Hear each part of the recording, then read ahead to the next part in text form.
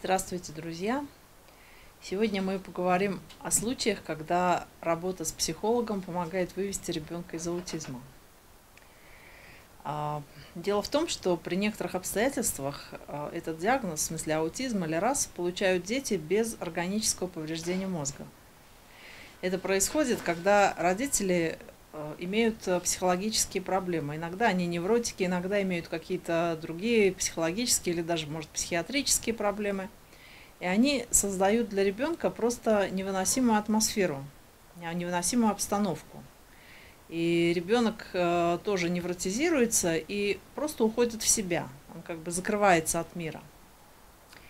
Э, такой ребенок плохо поддается э, обучению, причем но по другим причинам. То есть не из-за того, что у него мозг физически это не может воспринимать, а из-за того, что он уже получил такую травму от родителей – что просто вот он, чтобы прекратить эту боль, он как бы отгородился, закрылся. А, такой ребенок, он может ожидать, например, э, отвечать, например, на ожидания родителей. То есть, к примеру, мать уверена, что у нее не может быть здорового ребенка. Ее ребенок обязательно будет плохим, или он будет больным, или он будет еще каким-то. И ребенок подсознательно отвечает на ожидания матери просто для того, чтобы сделать ей хорошо. То есть, э, собственно, деваться ему куда? Это же мать. И вот именно такие дети очень легко и быстро выходят в норму, когда родители решают э, свои собственные проблемы. То есть, когда исчезает невротизирующий фактор в обстановке, которой находится ребенок, такой ребенок очень быстро как бы выходит из э, своего кокона и начинает активно познавать мир. То есть э, в таких случаях все зависит еще от отношений самих родителей к происходящему. А, вот именно для таких родителей, чаще это матери, реже это отцы, иногда это и мать, и отец вместе, в общем, в каждой семье все по-разному. Именно вот для таких семей работа с психологом может оказаться ключом к новой жизни. И, собственно, для них самих, и также для их ребенка. Когда такие родители решают свои психологические проблемы, то дети очень быстро возвращаются в нормальное состояние. И, собственно, такие случаи тоже мы видим описание в интернете, и, собственно, мы видели такие случаи и в жизни.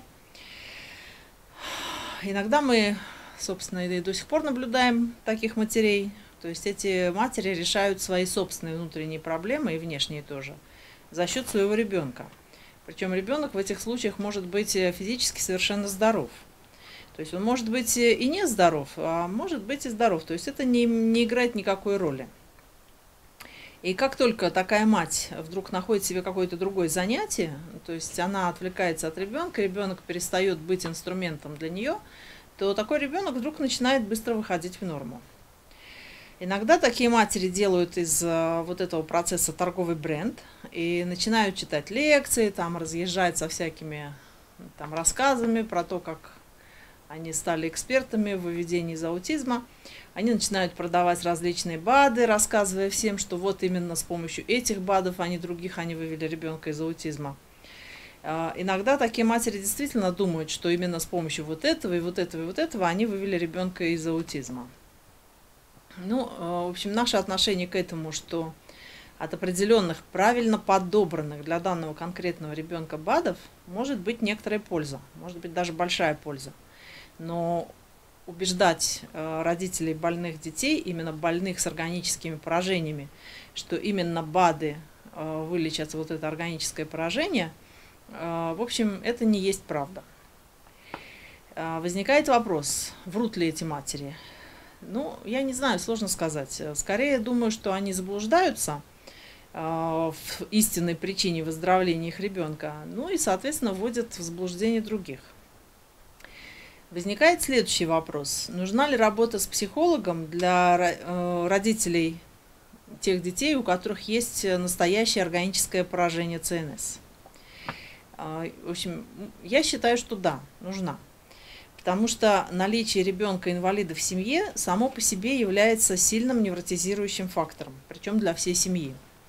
И в этих случаях работа с психологом, пусть даже она и не повлияет на состояние самого ребенка, не выведет его из аутизма, но зато она улучшит качество жизни семьи, улучшит э, состояние здоровья и состояние психологическое родителей и других детей, если они есть в семье.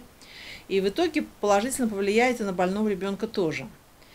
И, в общем, понятно почему. Потому что мать, которая не истерит, а четко понимает свои мотивы, а, мотивы других членов семьи, мотивы, что движет больным ребенком, она будет просто действовать более разумно, более эффективно, будет более терпимой и просто будет находить более правильные и, скажем так, оптимальные решения, чем та, которая будет находиться в состоянии постоянной депрессии и в постоянной истерике.